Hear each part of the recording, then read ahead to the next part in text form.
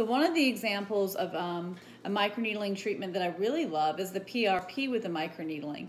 And this is because the, the PRP driven into the skin with the microneedling or directly after the microneedling is going to speed up the healing process and give you a lot better results.